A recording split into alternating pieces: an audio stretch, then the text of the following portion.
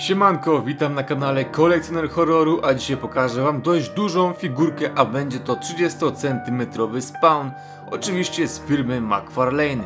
Figurka wykonana na wzór postaci z gry Mortal Kombat 11.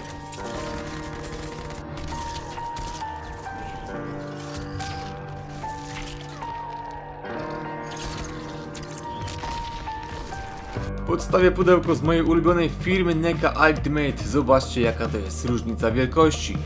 Na jednym boku kartona mamy logo Mortal Kombat 11, na drugim boku grafika naszej figurki, a tak prezentuje się pudełko z tyłu. I też na opakowaniach z tej firmy na spodzie zawsze znajdziemy numer, który potwierdza oryginalność figurki. A oto już rozpakowana figurka, nasz 30 cm spawn. Chciałbym powiedzieć, że ta figurka jest w pełni ruchoma, ale nie. Ruchomą ma głowę i ręce. Chyba można nawet nazwać to statuetką. Figurka jest świetnie wykonana, jest ciężka i robi wrażenie. Wygląda ona dużo lepiej w ręku niż tutaj na filmie, uwierzcie mi. Zobaczcie sobie tą różnicę Ghostface Ultimate i Spawn z McFarlane. Albo jeszcze Chop Top z firmy NECA w stylu retro. No jest spora różnica, nie? Większa figurka ma lepiej widoczne szczegóły i detale, a wcale taka droga nie jest. Obejrzmy sobie teraz tą figurkę, a zaczniemy od głowy. Główkę ma czarno-białą z zielonymi oczami, a usta w sumie nie wiem po co są zasłonięte, bo maska była na całą głowę, ale z chustą na nosie wygląda lepiej. No dość ciekawi. I oczywiście pod kolor do swojej peleryny. Stylowo. A ta chusta też fajnie zrobiona, taka jakby sztruksowa. Spawn też zazwyczaj obwieszony jest łańcuchami, tutaj akurat ma tylko na szyi łańcuch z czaszką, obwieszony za to jest amunicją i granatami. Ubrany ma też pas, na środku widzimy znowu czaszkę, jest też jakaś kieszonka na coś na tym pasie, natomiast jego ręce są ruchome i ma takie specjalne ochraniacze z kolcami, też ciekawie to wygląda, nie? Zobaczmy sobie jeszcze jego nogi. Tutaj też ma bardzo dużo ciekawych rzeczy. Jego prawa noga jest uzbrojona i chroniona przez takie oto coś dużego z kolcami. Kopniak w dupę od tego pana na pewno na długo zostanie w pamięci.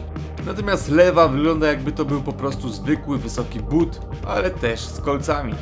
Dobrze, że każda noga wygląda inaczej, bo wygląda to ciekawie. Wykonanie jak tak się przypatrzycie to może nie jest to jakieś takie wow, ale jak na swoją cenę to nie jest to złe. Na jego prawej nodze możemy też znaleźć taką dość dużą, no chyba amunicję, a na jego lewej nodze zawieszona jest kabura z pistoletem, którego nie da się wyciągnąć. Jeszcze tej drugiej ręki wam nie pokazywałem, a szkoda by było, żebyście jej nie zobaczyli, bo wygląda no dość kozacko. Zobaczcie sami. Nie wiem sam dlaczego tak podobają mi się te peleryny w figurkach Spawn, ale one mają coś w sobie, że lubię się na nie patrzeć. Punkty ruchome figurki. Jak mówiłem, ma na pewno głowa, możemy nią obracać na boki. Lekko porusza się jego dłoń.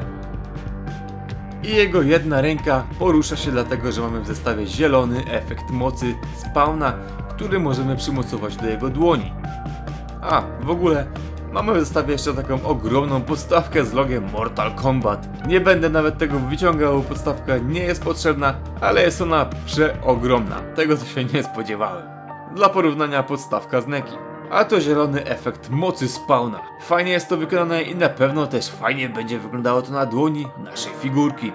Zaraz to przymocuję i zobaczymy. Ten efekt na dole ma taki cypelek i dzięki niemu wbijemy to w figurce w dłoń. Tutaj ma taką specjalną dziureczkę na to.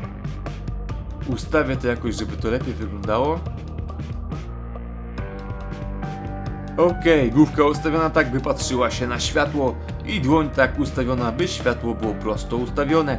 No i już figurka wygląda ciekawej, to trzeba przyznać. Jak już stawiać figurkę na półce, to na pewno w sumie to obowiązkowo z tym zielonym światłem.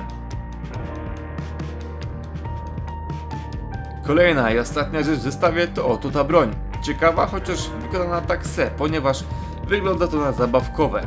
Ładnie jest to wyrzeźbione, ale można byłoby to lepiej pomalować, trochę bardziej realistycznie. Spawn może złapać ten karabin na przykład lufą do góry, albo dołem. Jak tam chcemy, ty złapie. Dodamy mu jeszcze z powrotem tą magiczną zieleń i figurka będzie gotowa, by stanąć na półce szczęścia, to znaczy na mojej półce z figurkami. No i pięknie, także mi bardzo podoba się ta figurka, szczególnie, że nie jest ona taka droga. Ładnie prezentuje się, super jest wykonana, fajne ma dodatki do zestawu, plus jak zawsze za podstawkę, chociaż do niej jej nie użyję, bo jak widzicie stoi stabilnie. No ale, no jestem zadowolony i polecam każdemu tą figurkę, jeżeli jesteście fanami Spawna czy Mortal Kombat. Dzięki za obejrzenie, zapraszam na moje poprzednie filmy, zostawcie łapkę w górę, komentarz i suba. Na razie i cześć!